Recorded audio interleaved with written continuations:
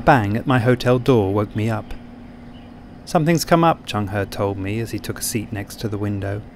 I have some things I have to do, but I've marked the route for you and sent it to your phone.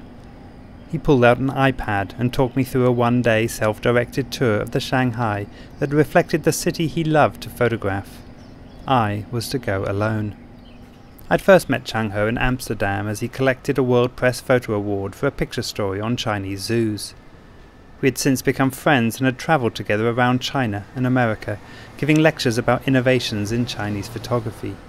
He was young, but had forged an impressive reputation amongst the Chinese photographic elite. I always enjoyed our time together and was disappointed he would not join me for the day. Chang He left the room, and I packed my bag to head off to the first marker on the map. Jing An Villa, North Gate, off Nanjing Road.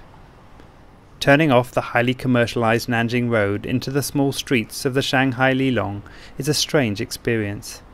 Drying clothes hang above the busy alleyway life, and people go about a much less hurried existence. Signs of the new Shanghai wealth are still there, but mixed with the sound of recyclers' bells and residents washing and cooking in the street. The midday sun was strong, but I opted to continue by foot, south towards the French concession and on to Yongjia New Village, my next waymarker. My phone told me it would take 40 minutes, but I was strolling at a leisurely pace, enjoying the tree lined streets, and stopping to photograph people eating through the windows of small cafes, young couples having their wedding pictures taken, and street vendors hawking just about anything they could fit on their carts. A man selling steam buns objected, shouting at my picture taking and jolting me back into the real world. It took me nearly two hours to reach the destination, and in reaching it, I was confused. A man squatted in the street reading music, and a flower seller looked at me, then looked away.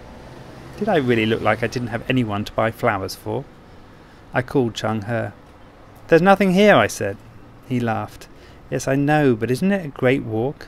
Before hanging up, he warned me to get back to the hotel quickly as the storm was about to blow into the city, and I hailed a cab returned to my room, and took a nap while the storm blew over. By 4 pm, the rain had stopped, and I took the subway to the third marker, this time heading northeast to Yangpu district. The late afternoon sun picked out the bright colours of the street market, and I sensed a different mood in these parts. I was off the tourist trail, and the people I photographed laughed and joked in a way that left me smiling as I walked on. The area used to house the heavy industry of Shanghai, but there are few traces left, with many of the old factory houses being replaced by modern high rise apartment blocks. But, as mixed as the community is, it feels uniquely Shanghai. To finish the day, Chang He picked me up in his car and we drove to the Bund to watch the sun go down over Pudong. It's an iconic view, and one Chang He and myself had photographed many times before, but it simply is too magnificent not to be included on the tour. Following the crowds back along Nanjing Road, we finished the day with a meal, a beer, and all my stories from the day.